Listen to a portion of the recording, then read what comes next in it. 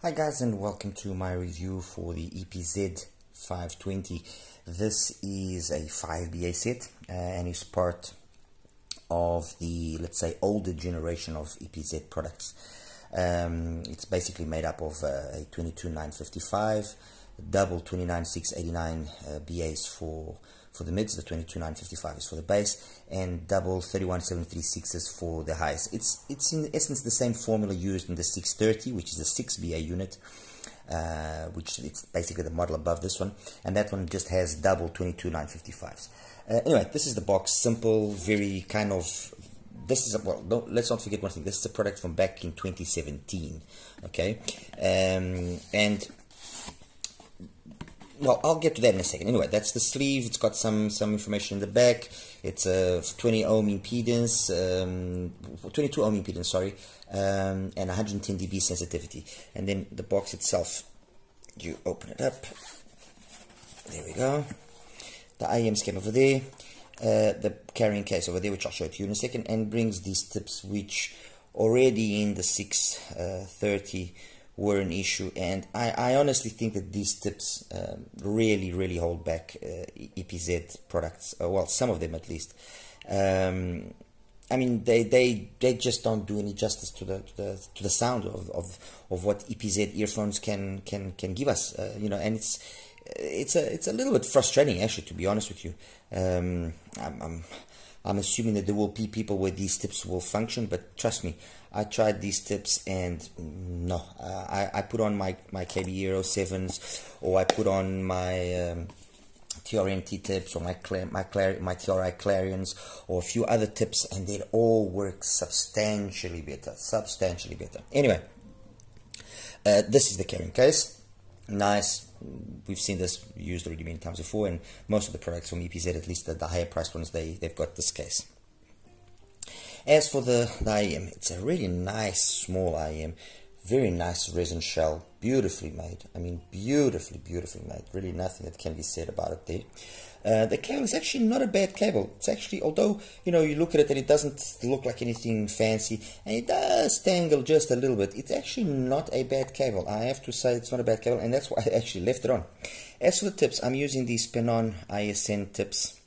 Um, it's the ones with the the green the green stem, and these tips just work beautifully with uh, the the 520. Be it these tips or be it the uh, the uh, uh, KB ears they work very nice. One thing that's interesting, and it's something which kind of was being done back in the back in the, in the day.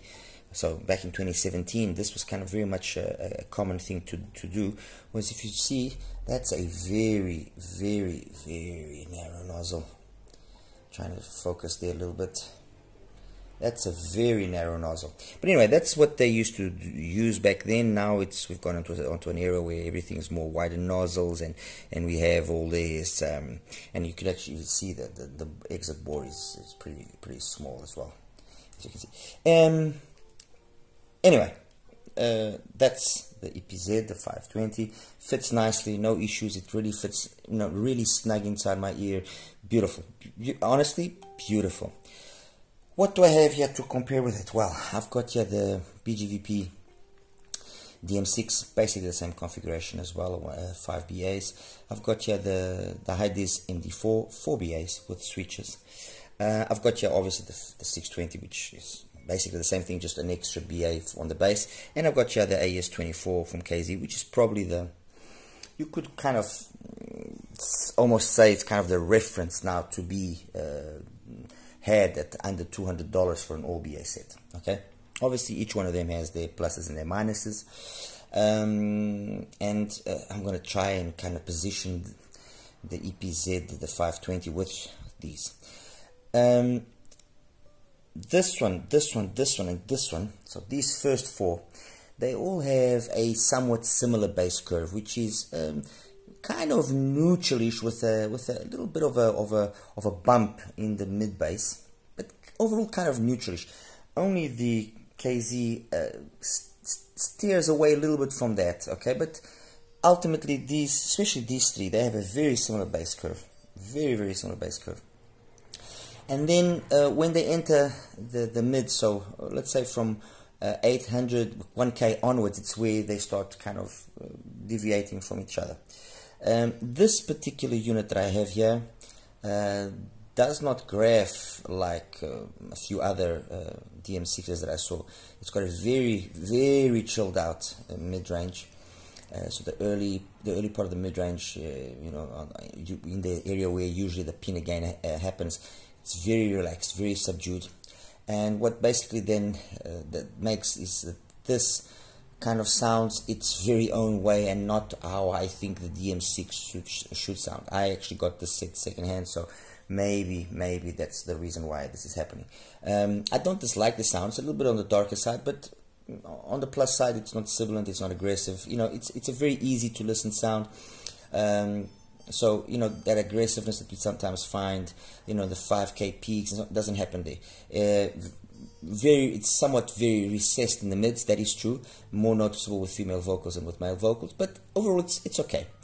The Hidizs the MD4 you know, I tried everything to like this set. I really did, and I tried to understand the way that they were trying to tune it, and and and, and you know, I, I, I kind of hoped that the switches, but no, this is just got one of those very awkward tunings that just doesn't sound good. This this is one of those IEMs, unfortunately. Unfortunately, this is one of those IEMs that the graph and what you listen to kind of are very closely matched. It graphs very bad, very very awkward, and it sounds just very awkward. It sounds hollow uh, you know this I don't, I don't know I, I I put it here because it's kind of priced the same value as the as the as the as the uh, 520 but honestly to be totally honest I mean it shouldn't even be here because it is so below the rest of them in terms of performance that I, I, I, I and it's a pity because I like Hidizs. I like I like the MS5. I think the MS5 is a, an amazing IEM contrary to what many people thought about it. I think the MS5 is a fantastic IEM. The problem was that not many people gave it a chance to try out the proper nozzle and tip combination.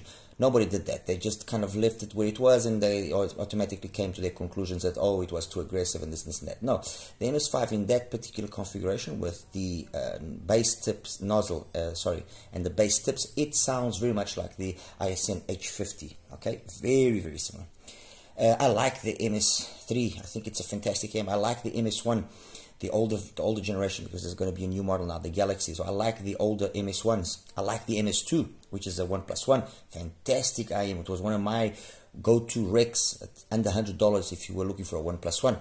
The MD4, um, no, they need to go back to the drawing board on that one. Uh, 630, sorry, 620. My apologies. Um, it's a nice IEM. It's got a nice sound. Uh, suffers from two issues. First of all, it is very noticeable the BA timbre um, a lot of the times, uh, and it's okay. You know, it's kind of not too bad, but that BA timbre.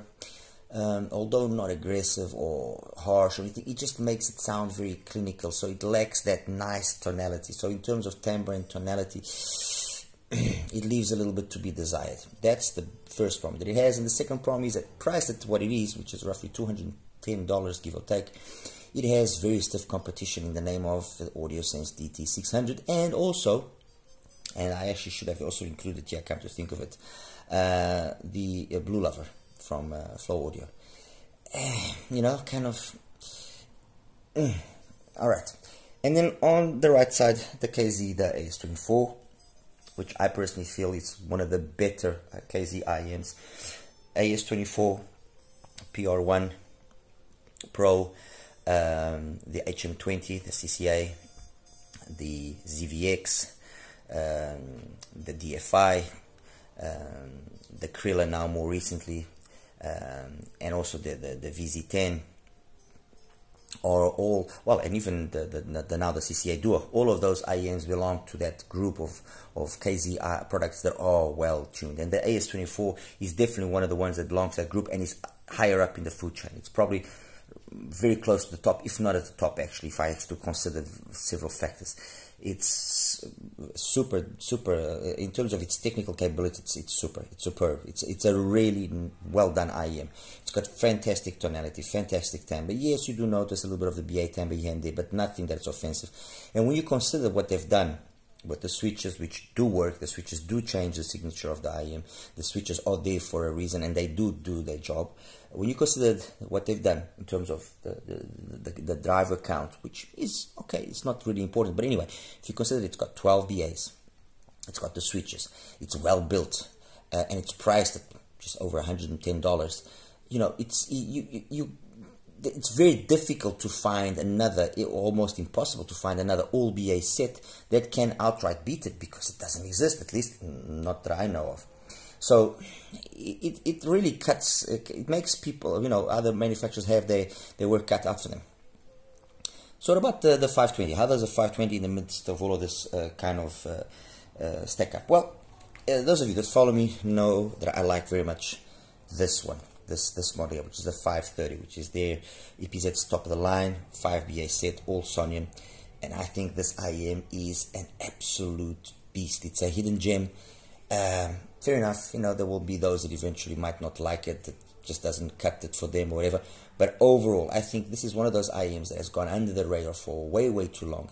And I, I was super happy that I found it and I was super happy that I was able to share this with you guys because up to now the people that I know have gotten this IEM, um, I think only one person wasn't 100% satisfied.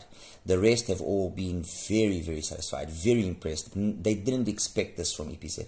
And the same thing happened to me. It is an absolute beast of an IEM. Sound, build, everything has just been done spot on. And to cut a long story short, the 520 is that, is that in a mini version. Having said this, I have to also say that my initial impression of the 520 wasn't a favorable one. Why? Because I tried the, no, the stock tips.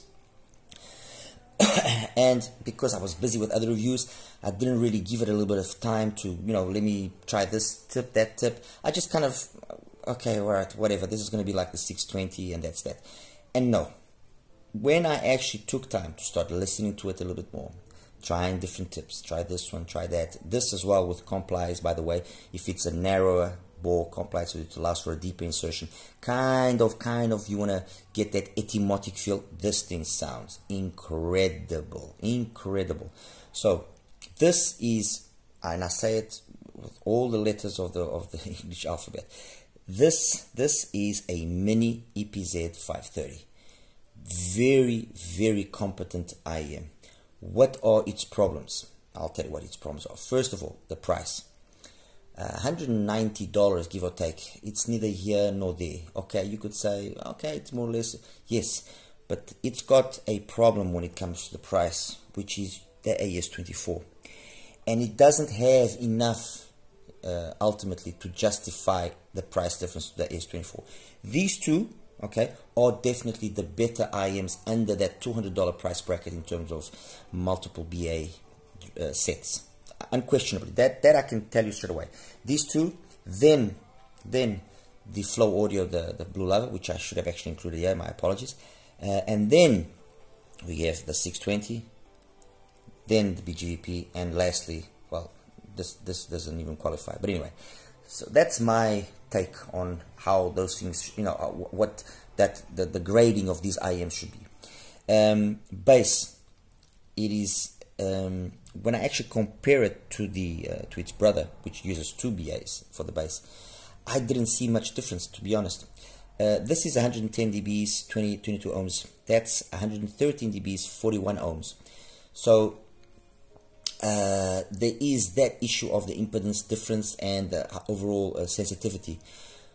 But somehow, when you listen to it, this just sounds just that little extra warmer. It just sounds really, really capable. It's a little bit, a little bit what happened with the AS16 and the AS24. The AS16 had had two, uh, two 22955s, and this one only has one, the AS24. However, when you listen to the quality of the bass, the AS24's quality is superior. The quantity, no, definitely the AS16. And that's kind of what happens here. In terms of quantity, ultimately, yes, the, the 620 will edge out slightly. But in terms of quality, this is a better IEM, okay? Mids and highs, they are similar, but somehow that matching between the bass, the mids and the highs, it just makes things sound more pleasant. And the first thing that you notice straight away is that this is way more uh, correct in terms of timbre and tonality. Way more. The timbre and the, and the tonality here, especially considering it's an OBA set, for me, spot on. Over there, like I said, mm, left a little bit to be desired. It's okay, but I was expecting more. Here, it's spot on. Timbre and tonality are perfect on the 520. Okay, male vocals and female vocals are fine. A little bit of forwardness on the female vocals here and there, but nothing that's out of whack. Some instrument, the, mo- the majority of instruments as well are very well done. Uh, only some trumpets, like Up and Up from Jeff Ryan, can, but that's a difficult song, mind you, so it's not even fair. It can a little bit sometimes come across as, mm, but like mixing with Margarita from Jacob Gurevich, the guitar sounds amazing. Absolutely amazing. Um, only again on very few occasions do the plucks sound a little bit over clinical, over metallic, but for the most part, fantastic.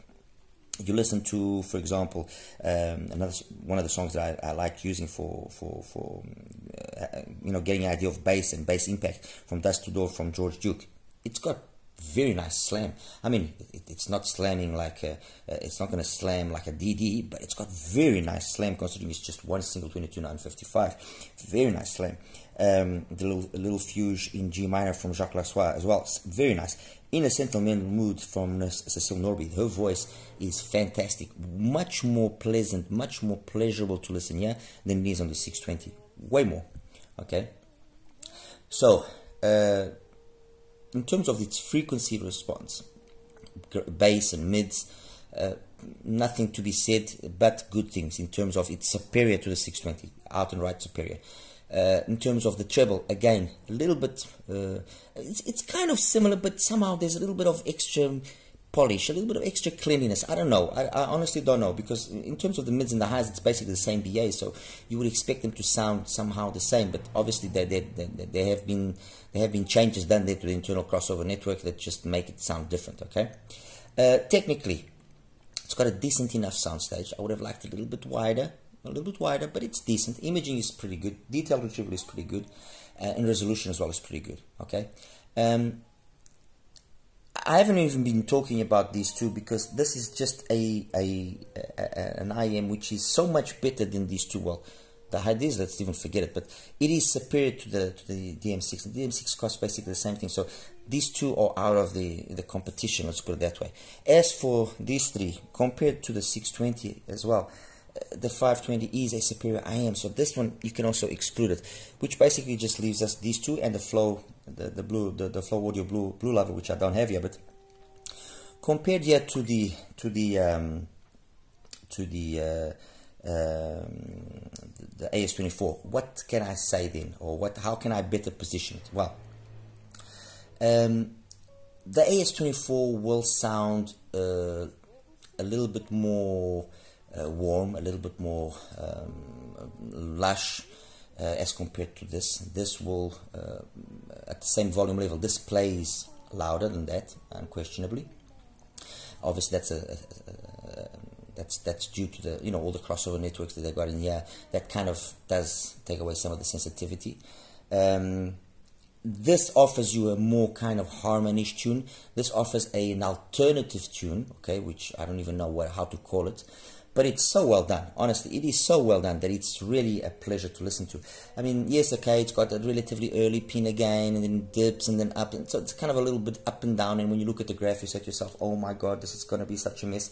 But the truth is, when you actually listen to it, it is very, very nice. However, however, having said that, let me just remind you: tips you have to make sure that you choose the right tips. Un- unquestionably, and then the source that you connect with will also help in making it shine. The Cayin, uh, the, the RU7 on here sounds fantastic. The M15 sounds good, but somehow the, this just marries better. So I would say a warmer sounding source will counteract uh, to a certain degree the, the, the more clinical, the more clean sound that this has and bring together a nice balance. Uh, with the VE, uh, I liked it as well, but it, it again, it, it wasn't the best match, the VE here. Uh, with the um, with the uh, EPZ with the with the, um, the, the little dongle that they have the this one the the the, the TP30 very nice matching as well better than the TP20 Um, and I also did some listening with the Qudelix, also worked fantastically well, matched pretty nicely with the Qudelix.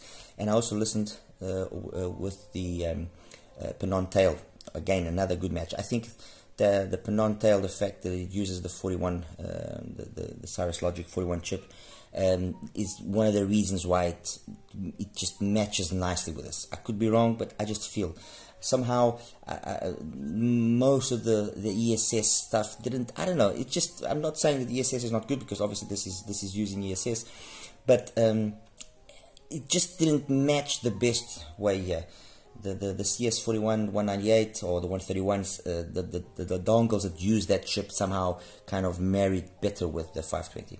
Anyway, guys, that's my little take here on the 520. It's not a, I don't, I didn't want to make this a long review, but it's already a long review. Let me just now quickly just show you the graphs and uh, we'll wrap it up. Okay, take care. Hi guys and welcome now to the graph section for the EPZ 520. Let me just quickly take away some of these graphs. Okay, so this is the graph of the 520. By looking at it, you'd say to yourself, okay, this is not going to be something you know that I'm going to enjoy. But the reality is, it actually is a nice sounding IEM. It, it, it, very much is. And this one, and, and you know, the Hidizs is the complete opposite because you look at the graph of the Hidizs as well. I mean, you look at that graph and you say to yourself, okay. And then when you listen to it, oh, yeah, okay, it doesn't sound good. But the the EPZ now, the EPZ does sound good. It's got a kind of like I said, flattish bass, you know, a little bit of emphasis here on the mid bass, apparently bleeding into the mids and so on. But in reality, when you listen to it, not really. I mean, there's a slight roll off here below, let's say 50 hertz into the sub bass, but it's fine. There's a there's a there's hints of sub bass there present, and uh, it was fine. It didn't really uh, bother me. Uh, as I said, the pinna gain is a little bit early, um, not too abrupt. I mean, uh, we're talking about everything staying between 73 to 82, so roughly 10 dB. So it's not, luckily, it's not a, a, a, aggressively, uh, uh, you know, the, the, the, rise. And then it's got straight away this dip and then peaks again and then dip. This dip here nicely is, not, is, is actually quite welcome because it doesn't uh, doesn't uh, show the, you know sibilance or anything of the sort. And then it's got these two peaks here. It's one, I guess you could say part of them are coupler related, but it's got decent enough treble. You know, the the the, the upper mids are not aggressive or harsh. It, it's fine. This is the graph of the 620, which you know you look at it and you say to yourself, okay, this is similar. But somehow it just sounds, it just doesn't sound the same. Uh, I mean, I'm not saying it's a huge day and night difference, but uh, you know, it's the timbre and the tonality of the of the 620 compared to the 520. It's just, it's just off. Um, it could be the fact that the the the pinna gain is even uh, you know rises and peaks earlier. Uh, yes, this part here is actually not too bad. It's also got that dip there, like the like the, the 520, and then all, there's there's a lot of similarities here, but it's just somehow it just doesn't come across with the same um, the same pleasurable tone as the 520. Okay, so that's out. Next one now here, that's the, the DM6, well, my DM6. I've seen other DM6s and they're way more energetic here. And this one, no, very relaxed. It's a very similar bass, but the fact that there's not much energy here, there does make, you know, mids sound a little bit recessed and there's not a lot of detail on the, on the positive side. Sibilance and so on and so forth doesn't really exist. But anyway, th this is what I have, so I had to compute with this. Um, next one, is uh, the, the KZ, the AS24, and this is not the one that has the more, let's say, kind of usual kind of tune. The bass is completely done in a totally different manner, more of a sub bass focus, very relaxed in the mid bass and transition to the mids. Uh, and the pinna gain is nice and, and nice and relaxed, although it starts early, it's nice and relaxed, peaks at just over 2k, and then you know kind of plateaus, a little bit of a, of a peak here, which is coupler related and not in decent extension. It's probably the one that overall has got the best technicalities without a question. Uh, you know that it does, but uh, you know when you listen to it and you listen to the 520. Um, yes, uh, it is better technically, but doesn't absolutely destroy the 520. And on the other hand, the 520 also doesn't have enough going for it to justify the difference in price. Uh, that's why I, I, consider these two to be, you know, the best or the better ones under this price bracket of up to $200.